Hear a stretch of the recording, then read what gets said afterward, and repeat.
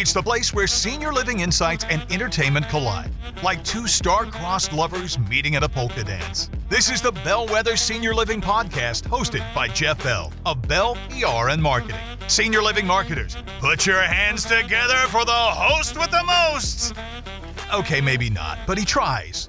Jeff Bell. Thanks as always, Tom. We are uh, back on another episode of the Bellwether Senior Living Podcast. I'm Jeff Bell, President CEO of Bell PR and Marketing, and pretty excited about our conversation today on the podcast. We're going to focus on something that I personally, um, I don't think gets nearly enough attention in the world of senior living, and that is um, specifically the topic of affordable housing in senior living. And so we're excited about our guest who's going to talk through that. A couple of uh, quick housekeeping items first as we're wrapping up the year here. Uh, just a quick plug for our services. If you are a uh, senior living community, uh, marketing salesperson, CEO, et cetera, and you're listening to the podcast and you're maybe you're doing media relations and you're not happy with it or you're not doing media relations at all, highly recommend that you check out um, our proprietary offering, which is called News Power uh, content marketing. It's a totally different way of doing media relations. And uh, we don't feel like people get the bang for their buck when it comes to media coverage. Uh, we take it to a whole nother level, bring it all the way through from the beginning, which is earned media, all the way through into your uh, sales pipeline. So, would love to tell you more about that. And uh, everyone's budgeting for uh, 2023 and beyond. So uh, definitely consider that. Check it out www.bellpr.org, www.bellpr.org. And now I am um, very excited, as I mentioned, um, about our guest today, who uh, is going to talk specifically about um, affordable housing and I think it's uh, going to be a great conversation. And again, I think my, my, my general viewpoint is we don't talk about this enough. Uh, we love uh, selling senior living. It's a product that we believe in. Obviously, uh, at Bell, we have a ton of clients in the senior living sphere, but really, really specifically, we uh, we don't talk enough about the affordable housing end of things. And um, with all the economic challenges we've had with with COVID, uh, et cetera, it's a it's a topic we need to discuss. So with that, we're going to bring in Joy Keels. Uh, she is the vice president of affordable housing for uh, one of our clients uh, that we uh, love very much, Methodist Retirement Communities. And so we're going to bring Joy in here now. And uh, Joy, first of all, welcome to the Bellwether Senior Living Podcast. And uh, before we brought you in, just sort of gave everyone a heads up what we were going to be talking about today. Uh, and I said, I think it's a topic that it doesn't get enough um, attention, and that's the affordable housing end of senior living. Um, and you know, when I when I uh, talk to people about senior living, uh, there are just with with with general senior living with CCRC, there is all sorts of misconceptions out there. Let alone when we talk about affordable housing, there may be people who don't even know that that's an offering in senior living, and um, not everyone does offer it uh, but Methodist Retirement Communities absolutely does. That's where you come in. Uh, so tell me first, just uh, so our podcast listeners get an idea, tell me a little bit about your role and what does that look like, and also tell me just a little bit about about some of the affordable housing offerings that MRC has. Okay, thank you for inviting me and um, on this podcast, Jeff. Uh, also to talk about something that's very passionate to my heart. Um, I am the Vice President of Methodist Retirement Communities Affordable Housing. And I've been with the organization now for 14 years.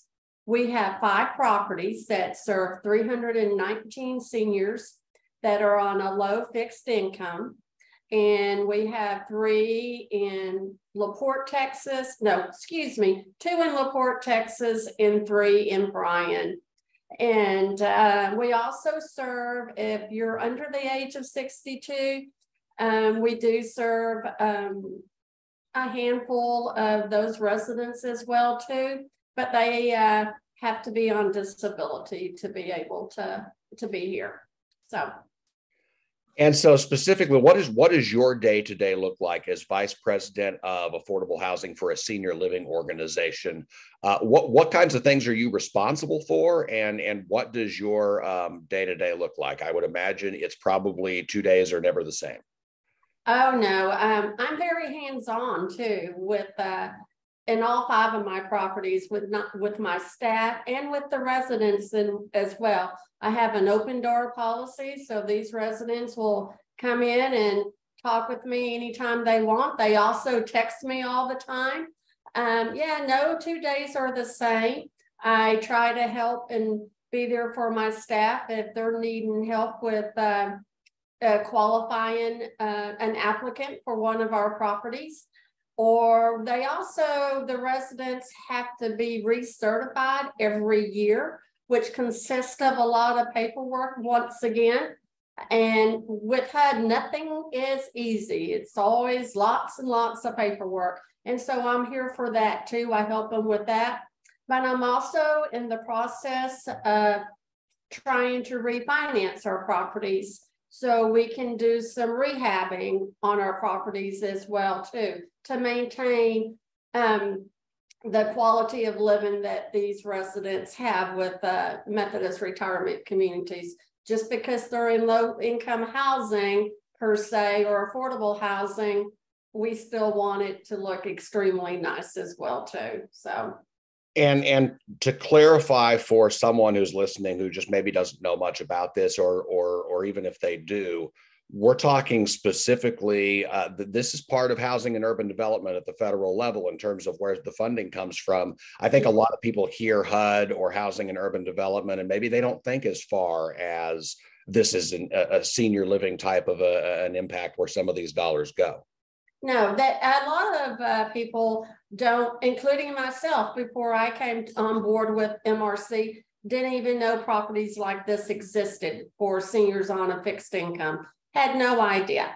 And uh, and a lot of and I hate to say this, but a lot of times people hear HUD and you think of it as maybe low income for family for families or single moms or dads or whatever, but it's not that at all. Um, these are really nice retirement communities for these senior adults, and uh, so um, and a lot of people don't know they're here at all, or that there's even uh, this possibility out here for their for the seniors. You know, if you're looking, if you're a child of a senior adult and you're looking for a, a place for your parent to go to, look at affordable housing within the HUD, in, HUD industry out there. You're going to find a lot of really nice communities do you have people who come to you and maybe because of some of the the things that come to mind when people hear hud or affordable housing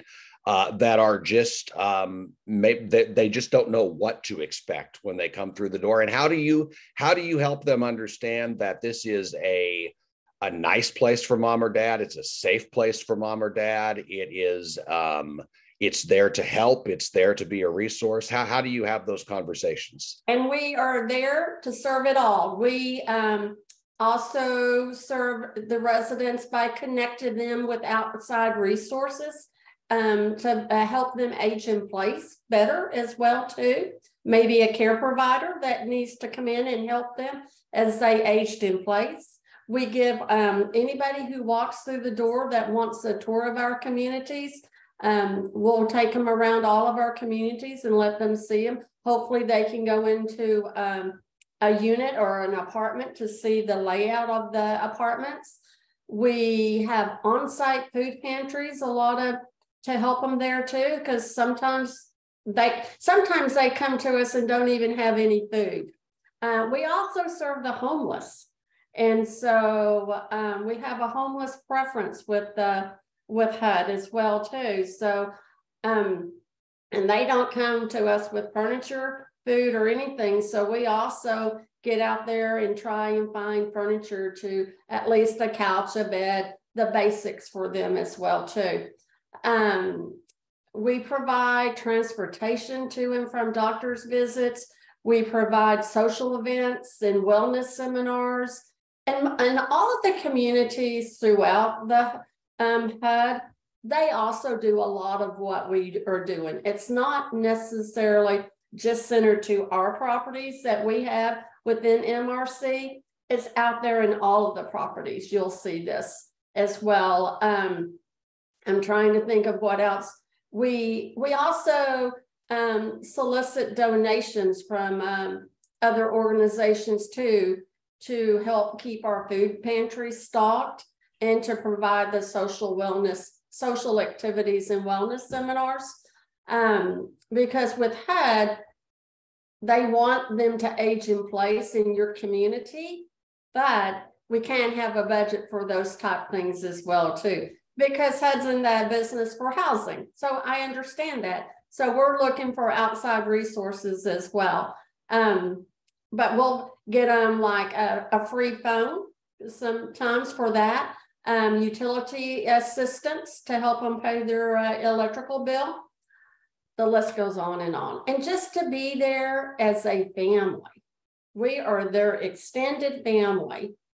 And um, and so we're there for when they need to come to us and just have a shoulder to to lean on or you know just to hear what they're having to tell us, you know, talk about, you know, their great, their grandchildren, their great grandchildren, and even their great great grandchildren. We hear all of the stories. So we're here for them as their family. So um, we do it all, you know, just everything you would anticipate when your loved one moves into a retirement community. That's what we serve here as well, too, in affordable housing and I've had the pleasure since uh, MRC is a PR client of ours. I've had the pleasure of getting to know some of these residents um, who make use of the affordable housing offering, yeah. and you know, to to to your point, they are um, just like anybody else. They're they're proud of their families. They're pr- they're proud of uh, some of their accomplishments in life. Some of them have amazing backstories. And um, I think that it also shines a light on, and maybe you can speak to this a little bit, the Christian service mission of an organization like MRC, because obviously uh, there are there there is a Christian service aspect of elder care, regardless of income level or or the type of community. But I would imagine that there's a real heart feeling uh, of, of of meeting that Christian service level when it comes to affordable housing. Being faith-based, absolutely. We provide, um, I have three pastors on staff in my um, communities and we, they hold Bible studies, um, prayer and worship all the time with our residents. And it means so much to them because if they're in need and needing a prayer, they don't hesitate coming to us and saying, can you pray with us? And we do that a lot. And we open all of our meetings with um, the residents and with staff. And even when we're out to lunch or anything like that, we open with prayer um, because we all need that. And I think being faith based says a lot about us. And um, even one of our residents here in our Unity um, community is a pastor. And he goes to the three different communities here and does Bible study and Sunday worship with them. And so when these residents can't get out to the church that they're used to going to, we're providing those services here on campus for them. And, and, and go ahead. Oh, no, go ahead. I'm sorry. Go ahead. I, I was just going to say, and speaking of a resident like that, because we talked about offerings for the homeless and and for people who really are truly down on their luck but that's not the full scope of affordable housing. A lot of these folks are uh, they've had great careers. They they are they are people who have uh, who have had really fascinating lives. They've had great careers. They've been everything from pastors to uh, postmen to to firefighters, you name it. And and so touch on touch on that a little bit. There's a lot of diversity in the oh, there is a lot of diversity in um, in our communities. We have had train conductors on here. Uh, we have uh, university professors. We have one resident in our um, community down in LaPorte who went to Madagascar during his younger years to build churches. and was not able to, you know, to plan for his retirement on his low income.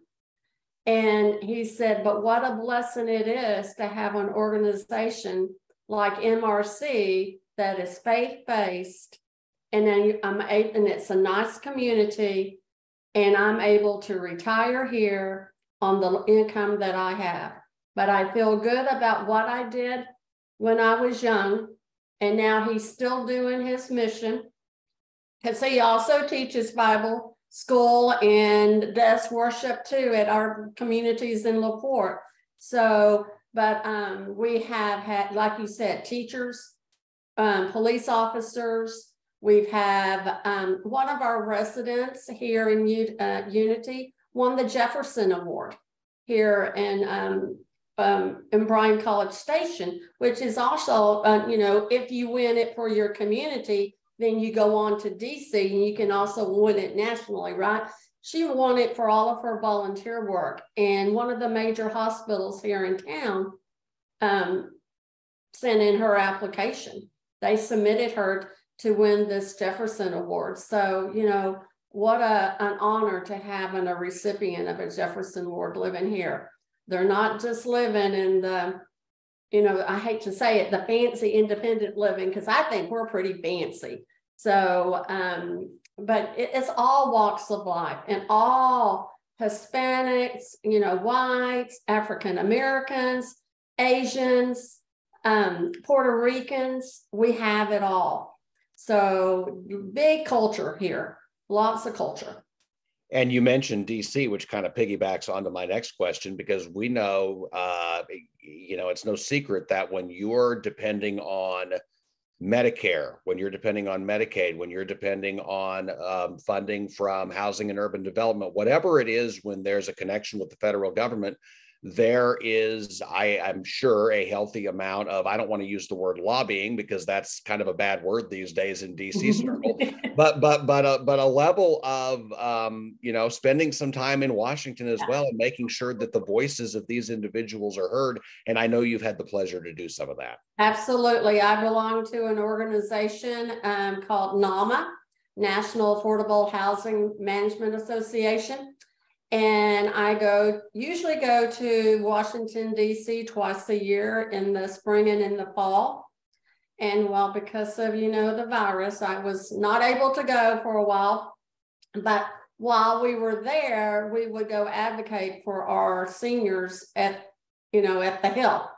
I have walked them halls many of times, visiting senators and congressmen you know, telling them what how important it is to have HUD fund more properties like this for our senior adults. Um, we've also had one of our congressmen come to our community. And, and this is a good example of people not knowing that these properties are out here or out there. Um, he come, he goes, you know, I've been out to Crestview several times, several times had no idea that they had affordable housing out here, you know, right, right in their backyard. And he said, These are nice communities. And I said, That's right. And I said, We need you to vote for more funding, you know, when it comes to time to vote on the um, the next bills and stuff. We need this funding for these properties to continue it. And with the baby boomers coming up, the need is there more so it's it's really our, our LaPorte communities probably have a 50 um, person wait list, but you get into the bigger cities like Houston and, uh, you know, all those Dallas, Fort Worth, all those Atlanta, all those big cities, you're looking at a 500 person wait list. It's major. And so we, it's definitely, if you're in DC or you know your congressman and senator, get out there and tell them, please vote to fund these properties and to fund to building more. And and what can be done? Obviously, a part of it is is funding.